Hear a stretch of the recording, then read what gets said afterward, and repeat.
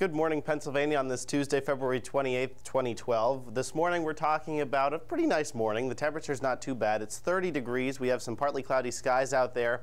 And we're talking about winds coming in out of the west about 6 miles an hour, putting a little bit of a chill in the air, but it could be worse for this time of year. It could always be worse, right?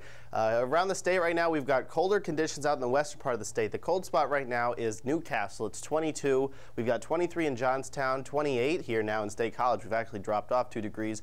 A little bit warmer in the east. It's 34 in Allentown and 39 degrees in Philadelphia. So talking about a seasonably cold morning to start the day. Across the rest of the nation, we've got a lot of cold up in the upper Midwest. We're up here, we're actually going to have a quite a snowstorm going on later today and into tonight. And then we've got warmth across the south, 70s in Florida, 60s straddling the Gulf Coast. So a pretty decent temperature contrast setting up for a storm that's going to be moving eastward as we move over the next 24 to 48 hours or so. You can see the beginnings of it here out through the Midwest. We're talking about snow up through Minnesota right now, and we're talking about some rain and some wintry precipitation in between. This is going to turn into actually a blizzard. We've got blizzard warnings up for the upper Midwest.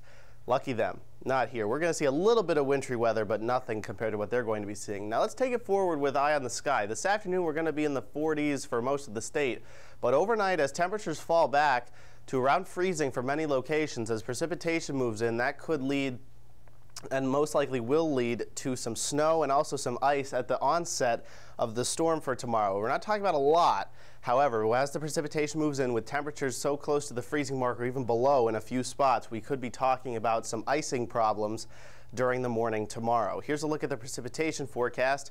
As we move through the day, mostly sunny skies for the afternoon, but then the clouds will begin to lower and thicken into tonight. By 10 o'clock, clouds will be overspreading the region, and then the precipitation's next.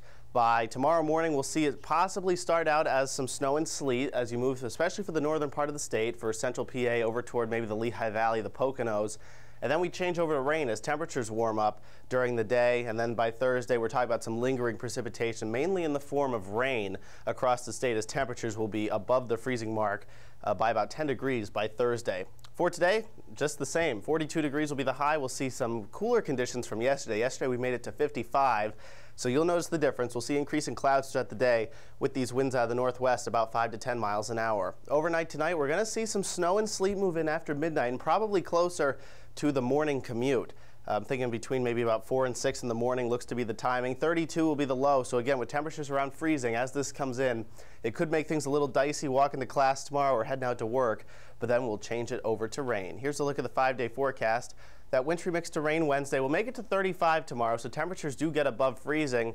And notice the overnight low, the same as the forecast high. So temperatures actually rise overnight Wednesday into Thursday. Thursday, we could see some lingering showers with a high of 44. Friday, partly sunny 46, and then more rain moves in to start off your weekend. Saturday, though, will be milder with a high of 52 degrees. From the Penn State Campus Weather Service, I'm Ben Reppert. Have a great day.